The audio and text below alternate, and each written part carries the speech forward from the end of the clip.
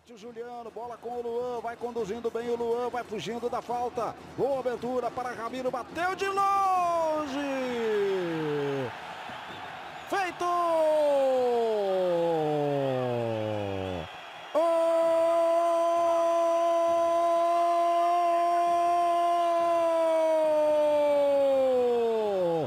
O Grêmio chega lá com Ramiro!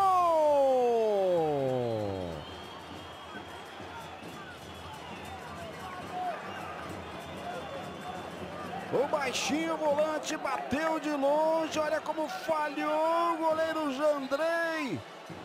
E a bola acabou entrando, olha só, foi lá, ela tocou no Jandrei e entrou no canto, aberto o placar aqui no estádio do Vale Novo Hamburgo.